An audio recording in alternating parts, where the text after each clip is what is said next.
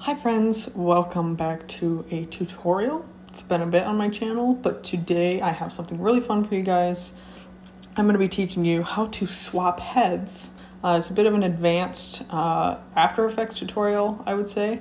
So I wouldn't really approach this unless you feel somewhat confident in After Effects, but without further ado, uh, these are the two clips I'll be working with. I have a shot of Reva here from Obi-Wan Kenobi, and then I'm going to be replacing her face with this clip of Rey um, from, you know, The Last Jedi. The first thing I'm going to want to do is we are going to mask around Reva's face and remove her face from that.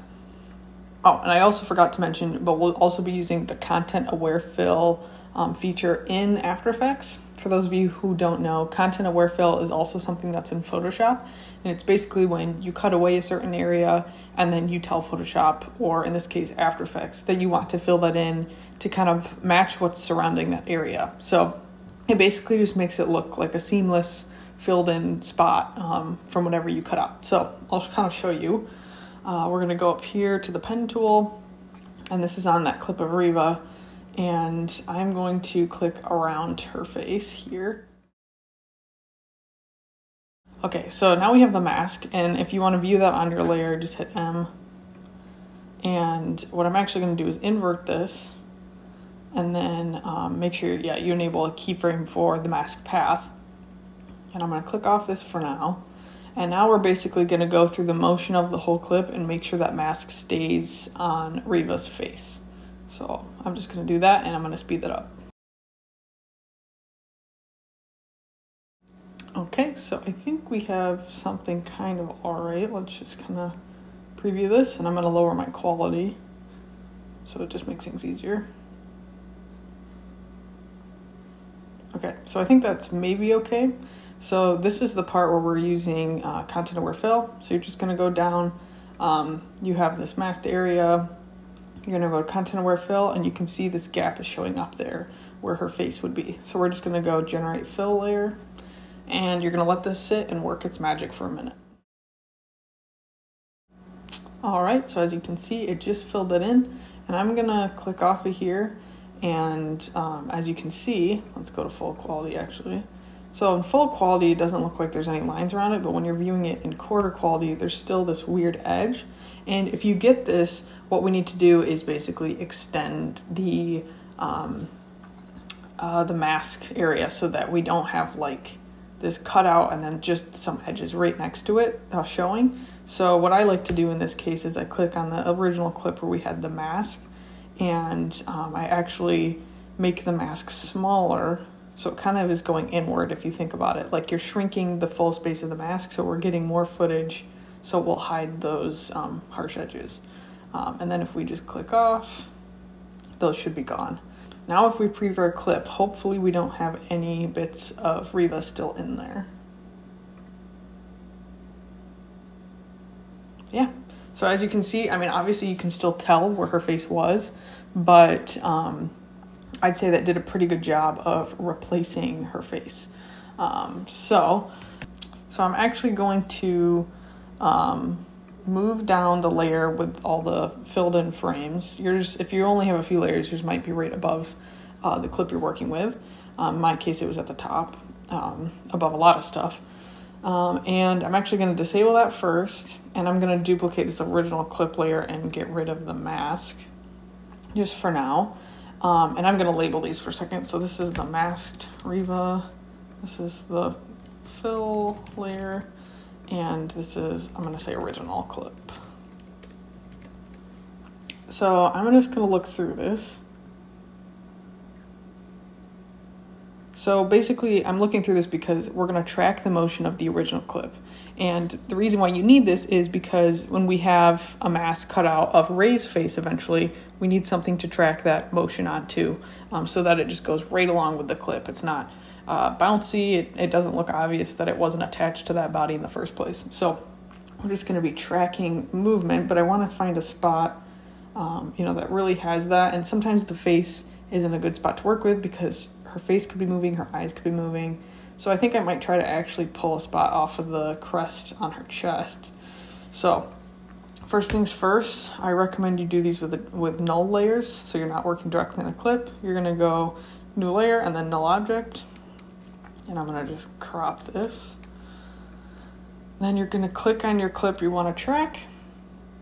Gonna go down to tracker in the side panel, hit track motion, and then I have to zoom in a little bit so I can see where I'm working with.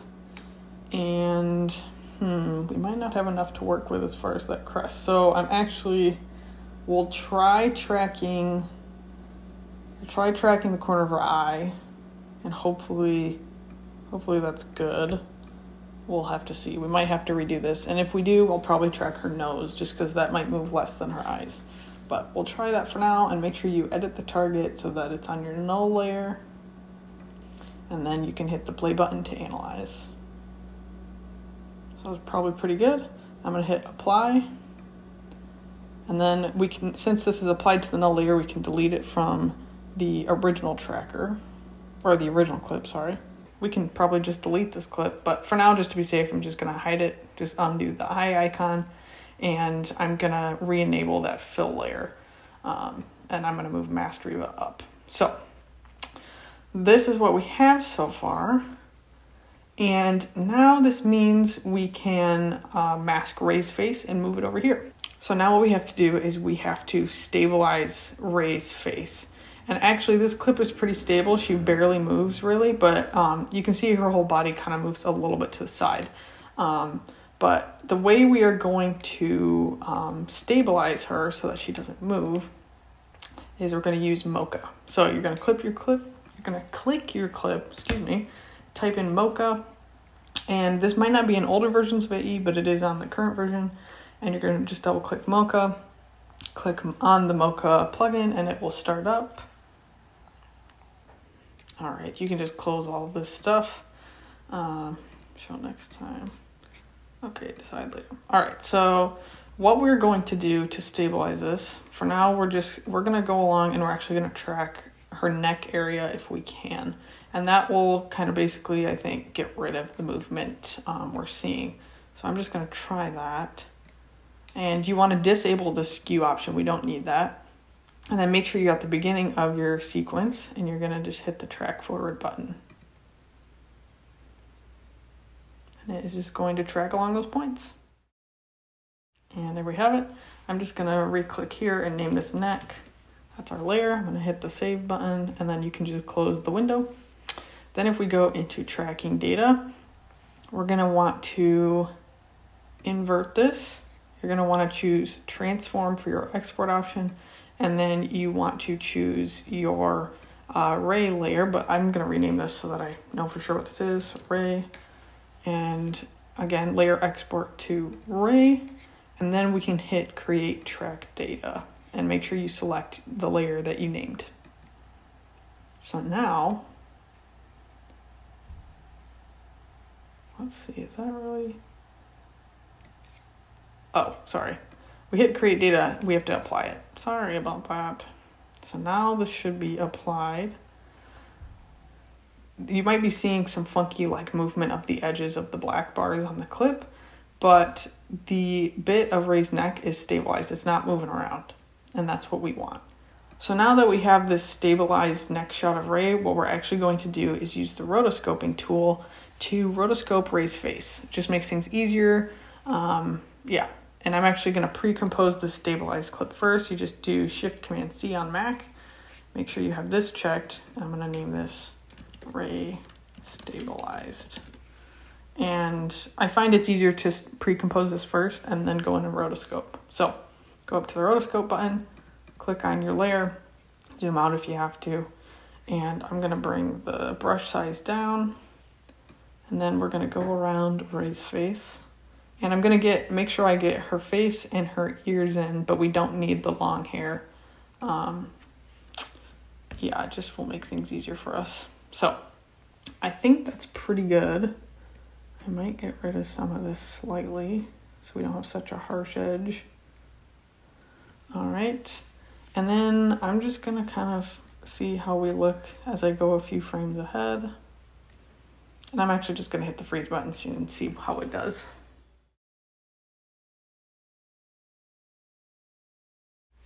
All right, so I did a pretty good job. Uh, again, I'm to hit Command C to save just to be safe. Then I'm going to go back into our main uh, layer. Make sure you're in the composition aspect. So this looks pretty good um, in our actual settings for uh, the mask, the rotoscope. I'm going to reduce the chatter up 100%. I don't think for now I'm going to use any of the refine edges stuff because she really didn't have any hairs kind of peeking out. But now what we can do is we can bring our composition of her head over. Let's move this back. And so now we're on this layer of Reva. I'm going to flip Rey's face, which there's not like a flip option in here, which kind of sucks. So I'm just gonna go hit S for scale, unclick this linked icon and do negative 100 in the first box and then relink it and that will just flip it evenly. Then we're gonna hit P for position, kind of move it over. I'm gonna also go back to scale and kind of scale it down a little maybe. And then P, back to moving this around. I think that looks pretty good. So once you get your uh, mask of the person's head in position, you're going to take this little pick whip tool, the parent pick whip, and uh, this just basically uh, it assigns that clip to do whatever something else does that you pick. So like if I connect this to our null layer that we tracked, it will follow the movement of that null layer. So that's why that's important because now this head is moving along exactly with the body of Reva. So that's essentially how you swap heads in After Effects. Um, for me, when I have these layers all set up and everything, that's when I then pre-compose all this and I'll change the eye colors um, for Rey to look kind of like a Sith, Sith man up of sorts. But um, I'm not going to show the eye transformation just because I have some tutorials already on how to do that. Um, but what I will show you is how to kind of color correct a little bit because obviously the clips look a little different. Um, I like to use curves and I'm just going to drag this onto our head of Rey and color balance and maybe also some hue and saturation. She looks a little saturated and I might actually do that first. So that looks a little bit better. Then let's try messing with some curves.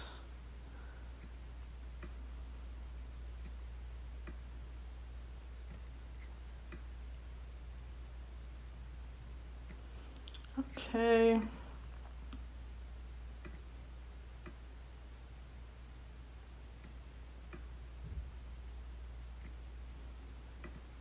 Cool, and there's a little bit of blue in the shadow, so I'm gonna take that out. Cool, I think that looks a lot better. And we probably don't even need the color balance here, but we can just try messing with that a little bit.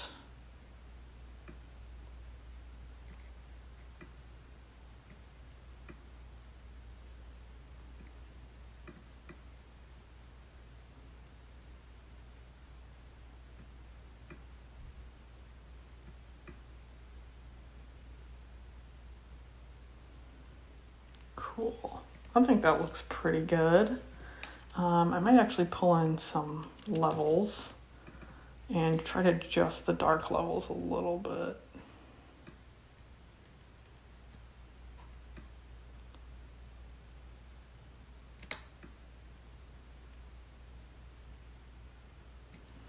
All right, I can be happy with that. So, um, yeah, let's just preview how this looks. Alrighty folks, so that is how you swap heads in After Effects.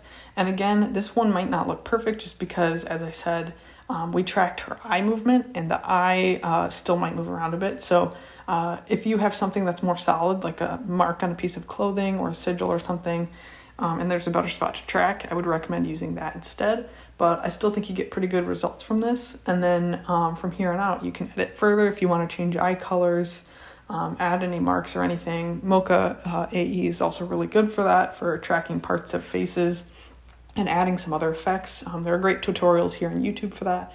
Uh, but yeah, otherwise, I hope you enjoyed. I hope you found this helpful and not too confusing. Uh, and I can't wait to see what people make. Thank you so much. Bye bye.